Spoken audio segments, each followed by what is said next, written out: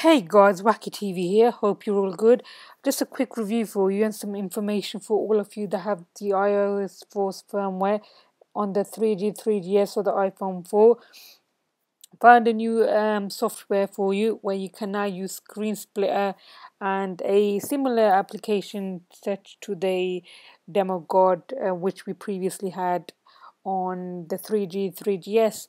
Um, so uh, the link will be in the description bar below. Okay so basically exactly the same thing as DemoGod um, as you can see you do need a jailbroken iphone with either ScreenSplitr or display recorder running.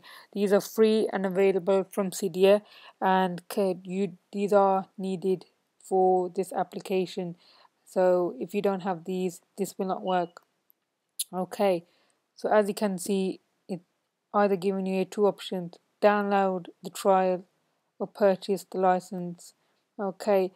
I did download the trial and I've got a license key for all of you people out there so you don't have to purchase it. It is nine dollars and 99 cents if you do want to buy it you know but I've got a license key which will get, um, let you basically use this for free okay so you can get this for the Mac and window you just click on whichever one you have.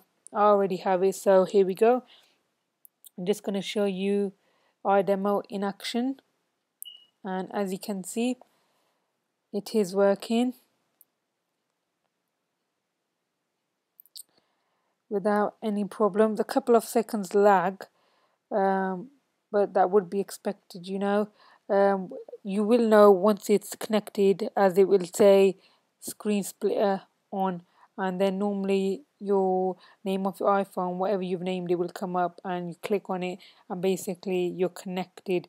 Okay. So this is the website you need. Really, really easy. It took me a couple of seconds to download it. And this is the license key. Yep. It will be in the description bar below, both the website and the license key, which will let you get this for free.